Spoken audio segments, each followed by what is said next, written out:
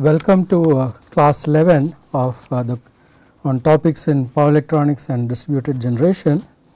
In the last class we were talking about uh, grounding of distribution systems and we looked at the need and the possible methods for grounding of uh, distribution systems and uh, in terms of the grounding of sources you can have an ungrounded source or a delta type of source in which case uh, in terms of the actual implementation IT type of uh, uh, secondary distribution grounding grounded network is similar to what would be uh, for this type of uh, system. the source is ungrounded, but the loads frames is connected to ground. then you can have a solid grounded system uh, in which case the source uh, neutral is connected solidly to ground uh, and the ground point which is the neutral is now distributed to loads and the TN network is an example of such a secondary distribution network ground grounding situation. The third scenario that we were talking about is a impedance uh, uh, grounded source. So, we are talking about uh, having a impedance now connected between the neutral of the transformer on the y side and the, uh, the earth the earthing terminal and the, uh, it can be a resistance or a reactance and you can have the possibility of high impedance or a low impedance grounding. And we uh, in the saw in the last class an example of uh, uh, a small value of reactance which is connected uh, between the neutral and the ground and we saw that in such a situation when you have a, a single line to ground fault then your uh, phase voltages is somewhere now in between that of a solidly grounded system and an ungrounded uh, system. Uh, in terms of the fault current level it is uh, uh the current magnitude is high uh, may be sufficient to trip a instantaneous uh, time over current characteristic, but uh, uh, but it is not so high that it might cause very severe arcs at the point of fault. And these issues are important from the single line to ground fault perspective because the majority of faults are actually occurring on a line line to ground basis. Okay. So, now we will look at a case of uh, uh, a high impedance to ground fault and uh, uh, we, we, are looking at a case where a, a large value of resistance is now added between say uh, the neutral and the ground and the objective in this particular case would be uh, to keep your fault current level uh, quite small.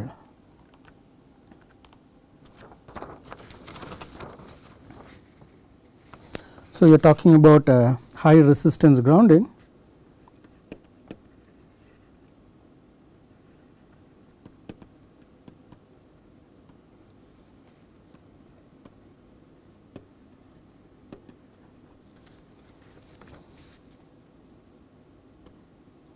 So,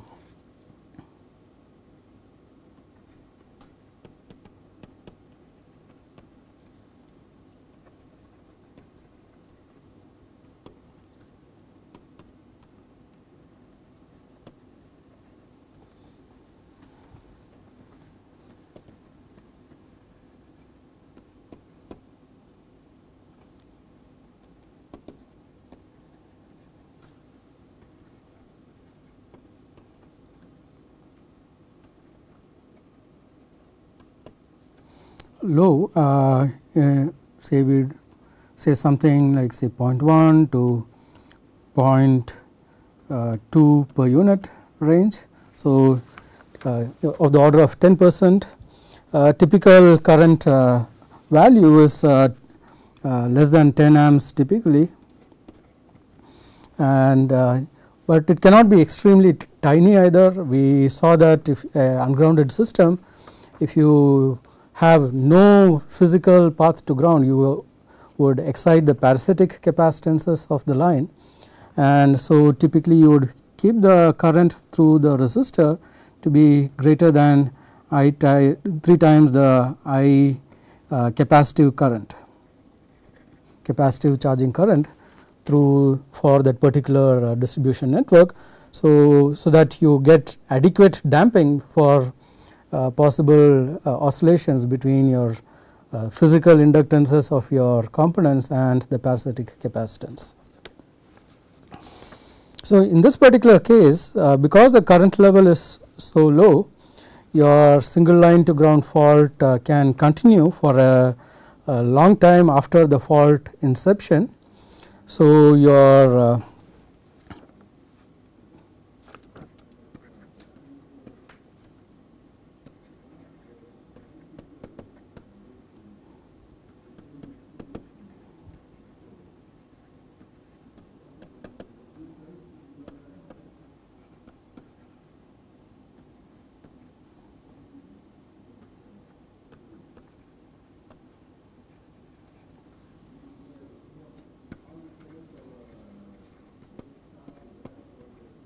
So, instead of waiting uh, for uh, unanticipated point at which you need to come in and do the repairs, you could maybe come in at night when everything is shut down, then go in and do the repair and uh, clear the point at which you are having the line to ground fault. Okay.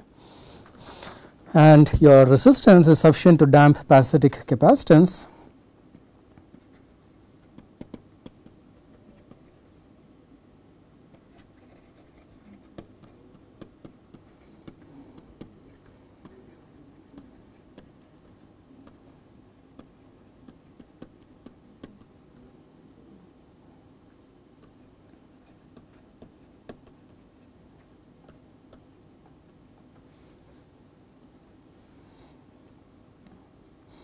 and what we saw was you can have arcing at the point of fault and the arc the current through the arc need not be symmetric in the positive and negative half cycle. So, there is always a possibility of level shifting of your uh, distribution feeder uh, in case you are having a arcing fault and now your resistance provides a DC path to ground to discharge possible level shifting. So,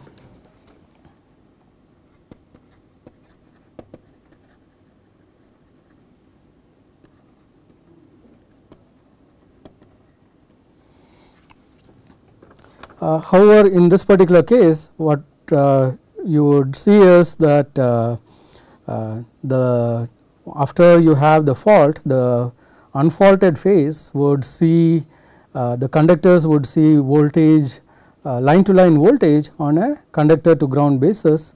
So, your uh, uh, insulation and your O voltage protection and its coordination need to consider the fact that you would have sustained line to line voltage uh, possibly occurring on the on a line to ground basis. Okay.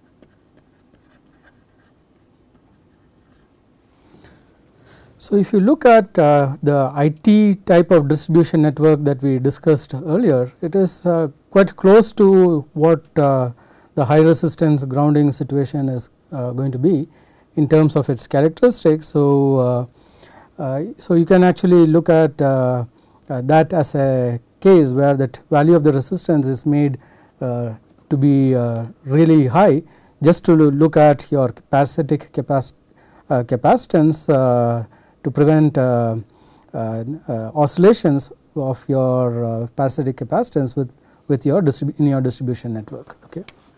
So, you can think about the IT distribution secondary distribution network as a example of this particular situation. So, we will look at uh, example of uh, high resistance grounding. So, we will uh, look at an example where you have a source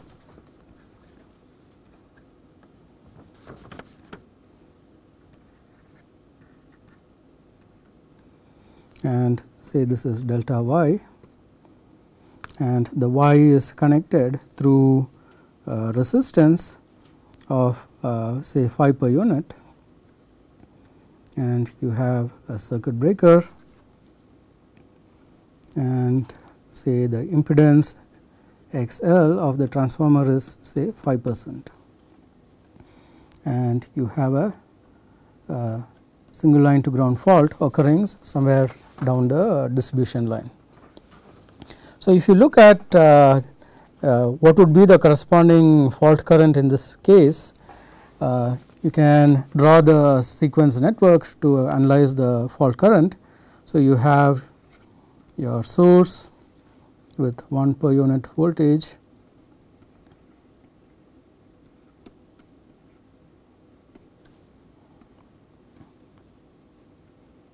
your negative sequence network is just the impedance j 0.05 and your zero sequence network is just the uh, is a combination of the reactance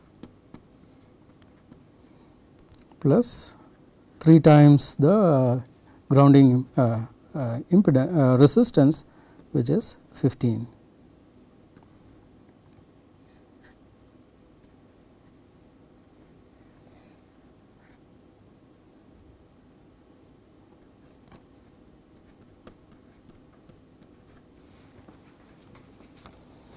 So, if you uh, calculate uh, the fault current your I f is now equal to 1 by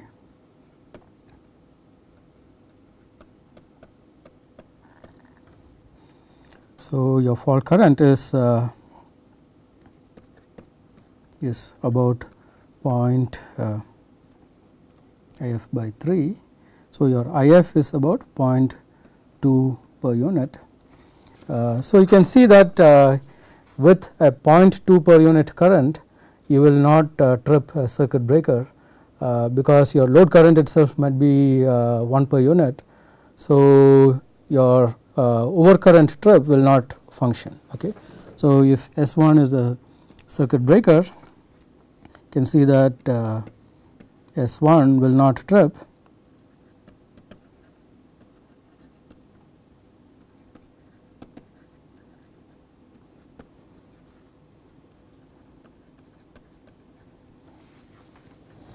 and if you look at what the voltages are the voltage VA, VB, VC uh, would be similar to what we calculated in the ungrounded case. Uh, and so, one way in which then you could uh, uh, sense that a fault has happened is by looking at your voltages. So, if you see that your voltages on one phase has come down to 0 and the other phase voltage has gone uh, uh, the uh, other phase has gone to line to line voltage uh, with respect to ground then it means that there is a single line to ground fault somewhere on the system then the question is where is that particular fault that is another question, but you know that there is a fault when you see the shift in voltage. Okay. You could calculate so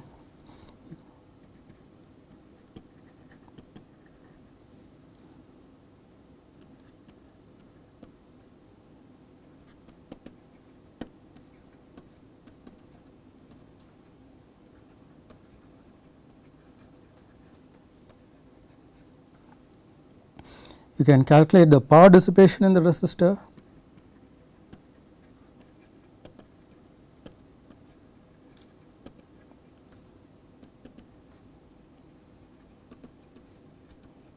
because after you have a fault potentially the resistor will stay connected in the circuit for a longer duration till the uh, the planned uh, scheduled maintenance comes in.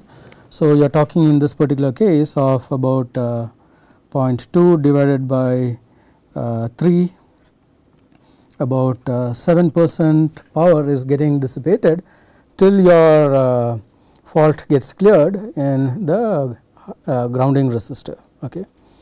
Uh, there are other uh, ways of doing people have also looked at possibility of having high inductance grounding though it is not very common because you need to damp your your LC oscillations and for damping you need a resistance. People have also uh, looked at uh, something called resonant grounding where you have your inductor with your parasitic capacitance tuned so that it is resonant at 50 hertz. So, in that particular case uh, you are you might have some advantage that in a resonant circuit uh, your uh, parallel resonant circuit your current drawn from the source is in phase with your uh, your voltage because and the current is drawn only into your loss in the branch that contain losses. So, you have in phase uh, voltage and current and having in phase voltage and current means your voltage 0 crossing and current 0 crossing is uh, occurring uh, close to each other. So, you have a possibility of self extinguishing the arcs in the fault okay, because when the current goes to 0 even the voltage is 0. So, your uh, arc might go away in your insulator, but it means that you have very good control of your parasitic capacitance which is not necessarily true people might switch in loads switch out loads. So, in a control situation you have such possibilities, but uh, not in general.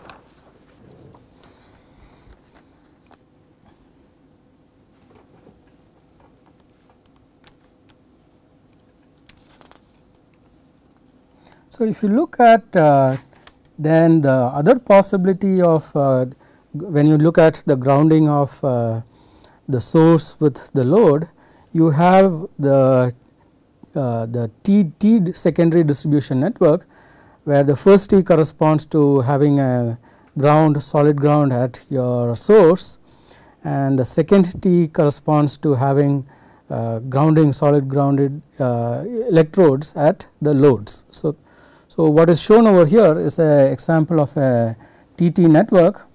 The y point is connected to power earth at the source. The neutral is distributed uh, to all the loads. So, you have uh, 3 phase 4 wire distribution. Uh, potentially each load can have its own grounding electrode. So, in this example uh, we have shown uh, what we, we see is uh, Load 1 and 2 has a common grounding electrode PE2, load 3 has another its own grounding electrode it might be uh, big housing structure load 1 and load 2, load 3 must be might could be the next house. So, it could be uh, uh, you can have different possibilities of your TT grounding network. Okay. Uh, the one of the main thing to consider in such a uh, while analyzing such a system is that when you have a grounding electrode uh, inserted uh, uh into the earth then you have actually the resistance earth resistance between your uh, earthing conductor and your physical uh, ground. Okay. So, you have what is shown over here as a connection to earth physically is actually you might have a point. You might have some uh, contact resistance to uh, to the deep earth and then you have the physical deep earth which would be uh, considered to be at 0 potential. And you look at your typical earthing resistance you it uh, is uh, a number which can vary uh, common values range from 4 ohms to 10 ohms. Uh, it depends on a variety of conditions like uh, uh, the how much wetness is there for the soil, uh, the salinity of the soil, whether the conductor is highly corroded or it is a relatively well maintained conductor. So, there can be a, a, variation in the value of resistance, but these are some of the typical numbers that uh, people consider uh, for the grounding resistance. And if you look at the ground fault current in this particular case,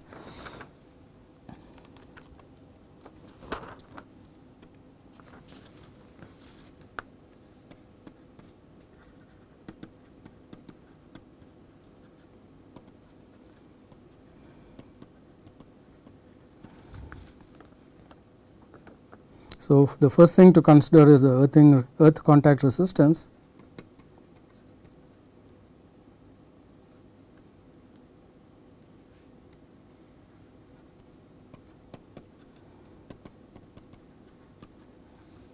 and that needn't be uniform and uh, what you would see is that uh, the the level of ground fault current is might be sufficient to create uh, to clear uh, low rated uh, circuit breakers or circuit breakers of the order of 10 amps, but uh, not high current circuit breakers. Okay.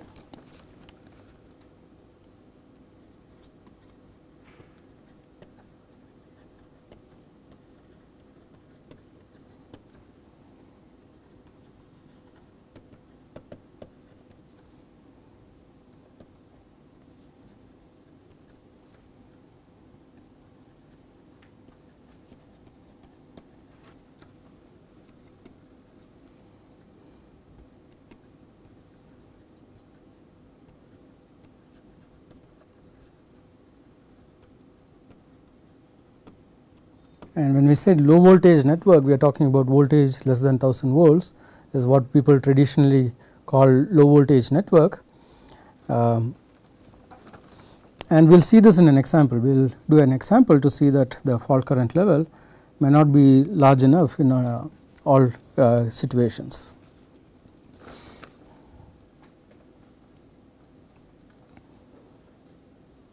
And you can actually also make your ground fault current uh,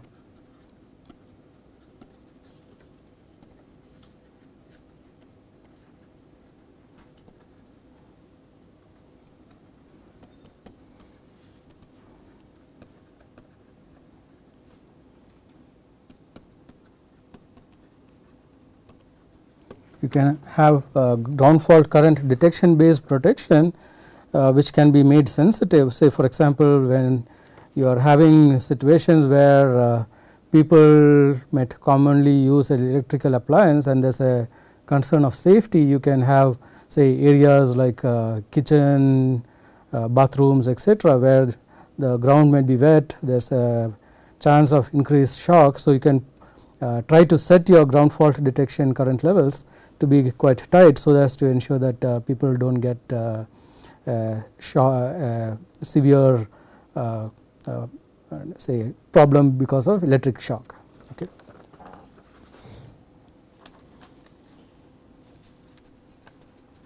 So, we will look at an example uh, in of a TT distribution and uh, we, are, we are looking at say we will look at an example where say you have a uh, a 2 MVA source, 2 MVA transformer and say your leakage inductance is say 4 percent and uh, the secondary network is uh, 415 volts.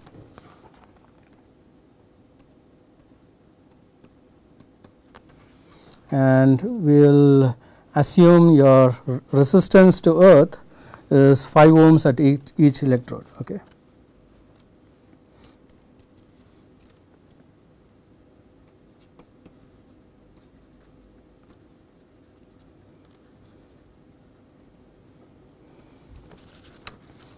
So, if you are looking at uh, 2 MVA 415 volt uh, network, you are talking about uh, I rated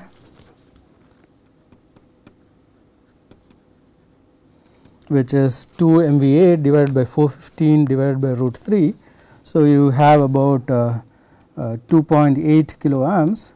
So, uh, these are thick multi conductor cables that might be connected in such a situation and uh, we will look at an example where you have a uh, single line to ground fault in load 1.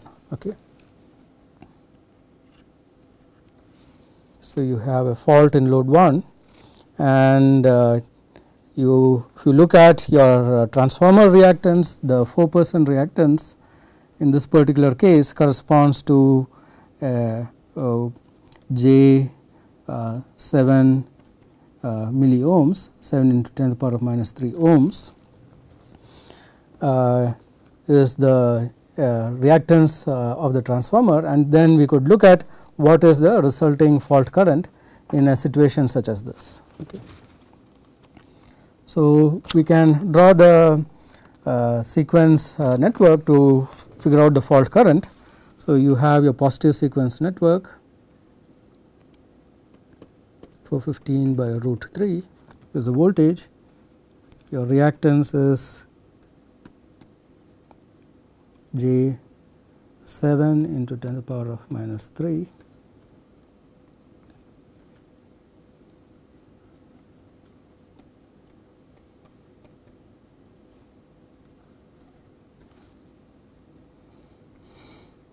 your zero sequence is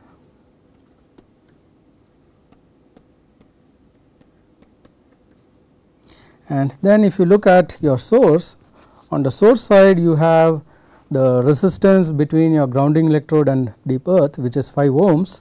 So, that acts now as a effective grounding resistance of uh, 15 ohms in your zero sequence network and then your fault has occurred on in load 1 and you also have now electrode at load 1 which is uh, uh, also having a resistance of 5 ohms between the electrode and deep earth. So, that can be treated as uh, resistance.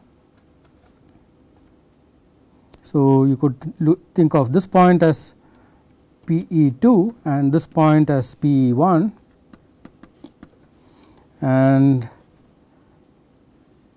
this point as your uh, deep earth or your your physical maybe uh, 0 voltage point then you can look at then your fault current.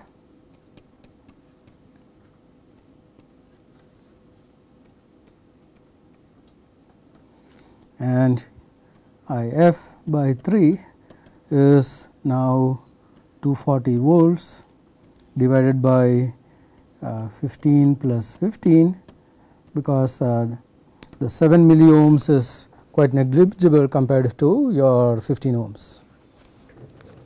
So, your fault current level is about 24 amps. So, you can clearly see that uh, 24 amps is a tiny percentage of uh, your 2800 amps rating of your main circuit so, obviously, uh, you will not uh, see a, a, overcurrent tripping at the of your main breaker which is uh, carrying your uh, uh, full current. Okay. You could actually calculate what your uh, touch potential is if say a person is over here and the person say touches load 2 because you now have a, uh, a current flowing through power earth 2 and you have resistance between your earth and your your, uh, your there is a contact resistance. The frame the frame of load 1 and load 2 will get elevated uh, when you have a single line to ground fault. And you could calculate what that particular voltage is. And if you look at the sequence network uh, that is essentially corresponding to the the PE2 point. So, touch potential at at uh, load 1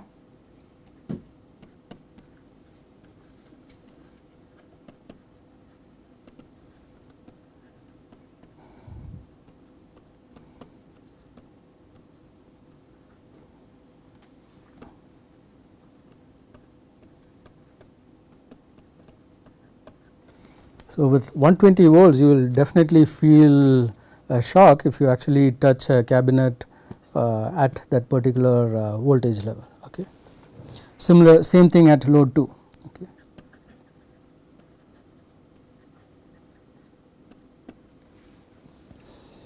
If you look at load L 3 So, if you have a person now standing over here and touching load 3 with respect to power earth 3 the there is no current flowing into power earth 3. So, with that particular location the person will not get a shock. So, the all the loads connected parallelly which has its own independent earth you do not see elevated per, uh, uh, touch potential, but within the particular uh, uh, load it might be a, a, house or something like that you would see elevated touch potentials. Okay.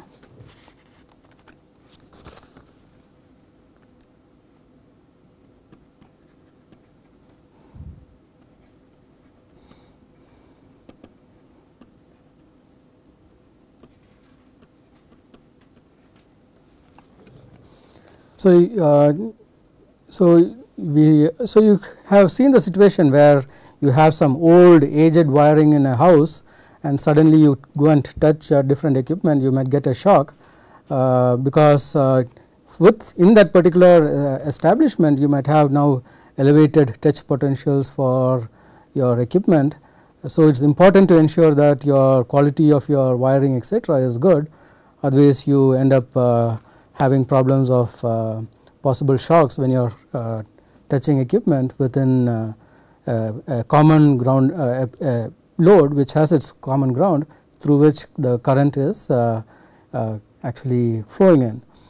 Uh, and you can see that just overcurrent fault might be sufficient to clear maybe 24 amps might be sufficient to clear a, a, a 10 amps circuit breaker, but definitely it will not clear a, a 30 amp circuit breaker, it will not clear a 100 amp circuit breaker. So, uh, in a situation where you are having high uh, rated loads, you cannot just depend on overcurrent to give you protection, you would need uh, uh protection from ground uh, fault uh, current detection. and if you have something like 24 amps flowing through a circuit which is designed to carry maybe 20 amps or 30 amps, it means that your conductors would get hot. Uh, so, there is actually a potential for uh, eventually having electrical fires. Okay. So, you, so you have to ensure that uh, the fault gets cleared or continuous uh, overcurrent that is flowing through the network can actually lead to po uh, possible fires and that is something that uh, one would need to avoid. Okay. Also if you if there may be some bad practices where instead of uh, putting an actual fuse someone might have just a physical conductor strand of copper being used as a fuse and in such situations you go and touch the fuse the fuse block will be very hot because it is carrying a high current, but not sufficient to actually uh, uh, interrupt the circuit and, uh, and things are running hot because there is a fault somewhere in the system which you cannot identify. But uh, for small facilities I mean for small establishment homes etc., where your loads are typically 10 amps or less uh, this would be a, a, TT network would be low cost because the number of conductors that are need to be passed around is quite small and uh, it is adequate for protection of uh, smaller uh, establishments. So, at this point with this uh, background on uh, on what uh, can happen, what type of uh, possibilities are there in distribution systems and uh, uh, what can happen due to say poor grounding or the issues in that are there when you have a common type of faults we can actually then look at the situation as of uh, what would happen when you add a distributed generator source into such a network which has its own grounding characteristic. So, we looked at again the IT grounding that is a type of grounding mechanism where you might ha have high priority for uh, uh, continuity of service. So, in a, a, situation where you place greater priority for continuity of service you might put a, a IT type of network. Uh, whereas, if you are um, uh, very you feel that uh, it is okay to interrupt the loads, but your fire is fire protection is something which is extremely important then you need to ensure that you have high current levels to ensure uh, clearing of fault. So, a TN type of network will ensure that there is high fault current and it would clear the breakers in a short time frame. So, you do not have possibility of uh, long lingering overcurrents uh, and TT network is a balance uh, you do not have the situation where one fault will cause elevated touch potential at multiple loads uh, especially when they have independent grounding uh, options and it is also sufficient when your uh, establishment is drawing lower levels of current. In case it is drawing higher current levels of current you could look at additional options of actually measuring the ground fault uh, current level and actually tripping your uh, breakers. So, we will look at now an example where uh, you have a distribution network and we will look at the same distribution network that uh, we studied when we looked at the issue of coordination where we had some initial fault current levels that uh, the system was carrying and then we added the DG and we wa wanted to see what would happen to the fault current level. So, we will look at the same network where uh, you had the traditional the old network which is say solidly grounded and then you want to add a DG uh, to this uh, setup and uh, you want to see well, what what are the possible situations. So, when you have a fault and the fault that we would consider is say a fault F 1 uh, just close to circuit breaker 1. So, to analyze uh, this uh, fault situation we will assume that the single line to ground solid fault is occurring at F 1.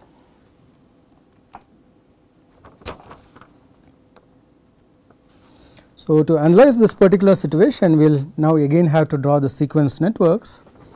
So, you have this uh, the situation where you now have the possibility the possibility of the contribution uh, from your main source which is a grid and also now the DG. So, your positive sequence network would consist of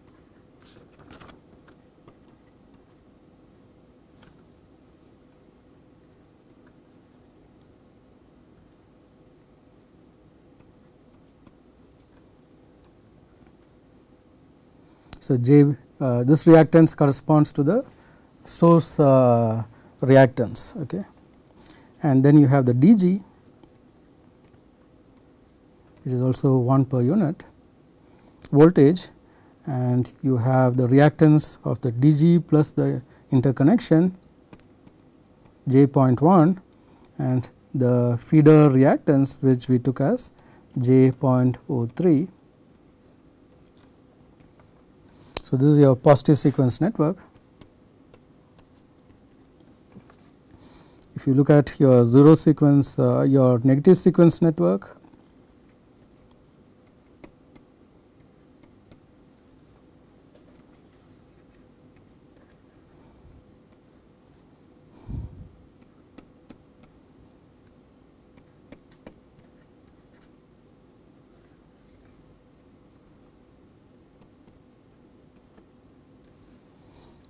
And if you look at your 0 sequence network, on the source side you have now a solid grounded network. On your DG side you now see the delta side of the transformer which means that it is open.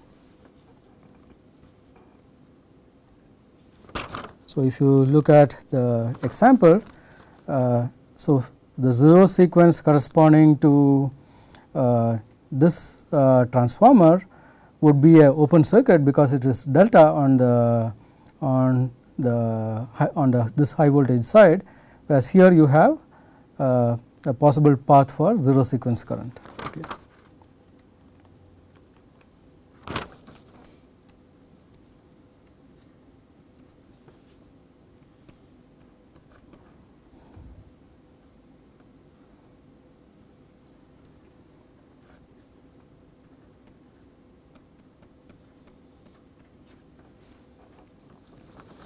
So, you could then calculate what uh,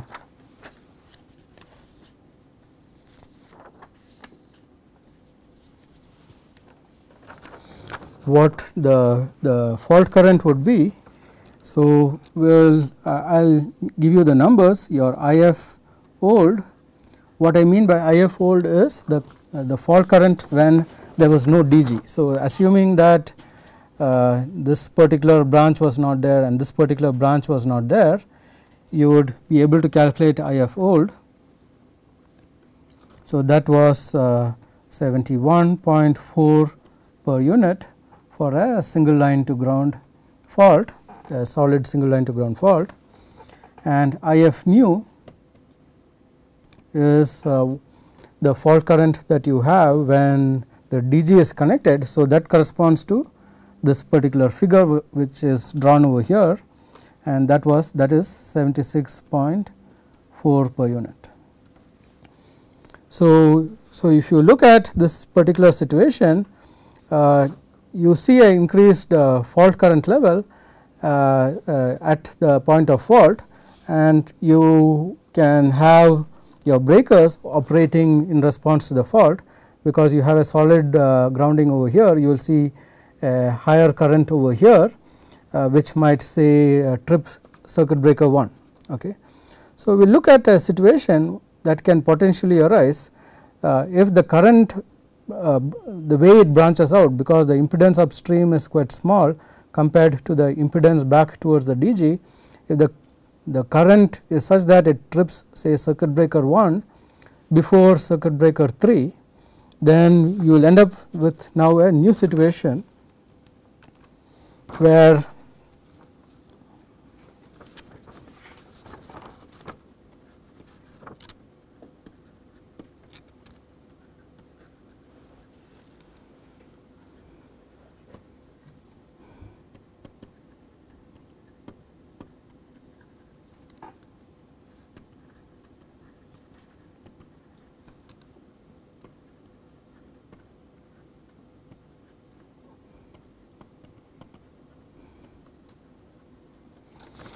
then the new sequence network would be uh,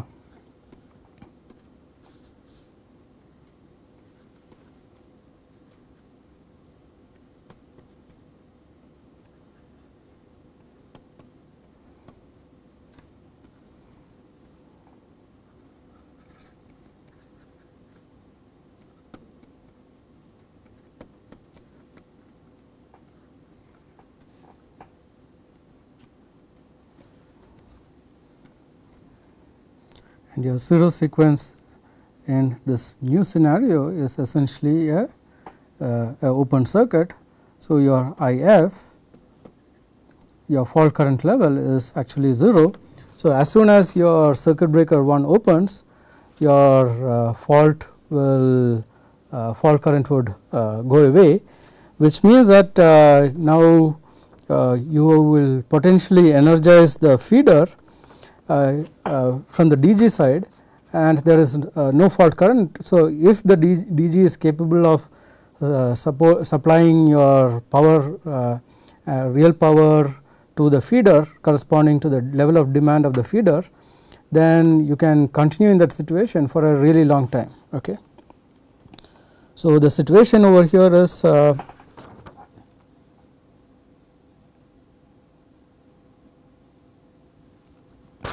is say your CB1 opened and uh, CB3 is still closed, it means that even though you have a, a single line to ground fault, you will not actually uh, have any fault current because uh, your your your system has now become a delta delta ungrounded system.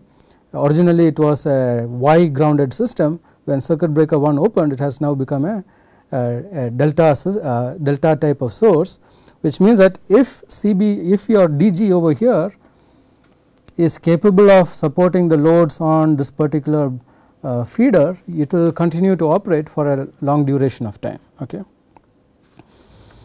So, if uh, this is actually uh, can lead to uh, uh, many problems and you say for example, you, because you are originally solid grounding your source you might assume that you are not going to have uh, phase to ground voltage of uh, that is going to be large, but now because you are having a delta uh, connected source it means that now your uh, your conductor to ground voltage can potentially go to uh, root 3 times what is the no, uh, the nominal. So, it will you will see higher over voltage okay and systems are not designed to actually experience over voltage of uh, uh, 70 percent etc. So, you can have damage to uh, components.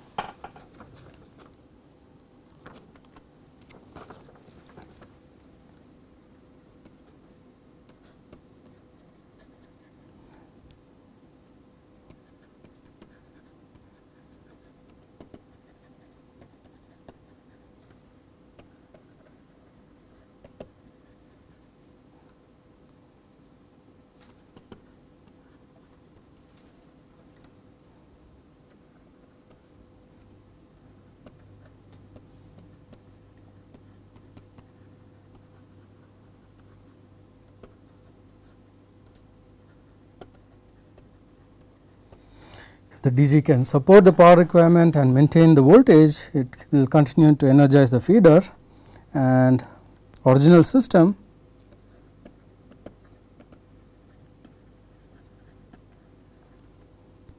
is solid grounded.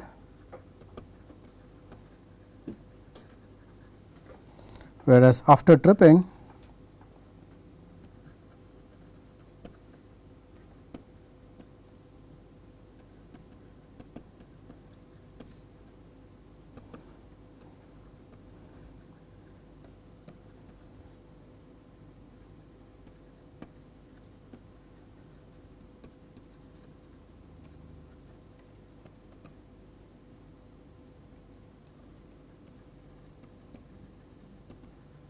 there is a possibility of voltage.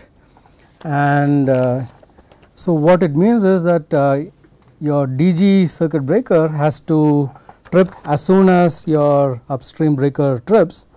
And the upstream breaker might trip for reason other than for fault. For some reason if uh, the breaker is opened uh, say uh, CB1 is opened then now what you have is the possibility of the grounding of the system changing from one strategy to another strategy, it is okay to have one particular strategy, but it is difficult to have systems which are changing the grounding strategy being changed uh, when uh, your uh, breakers open. Okay.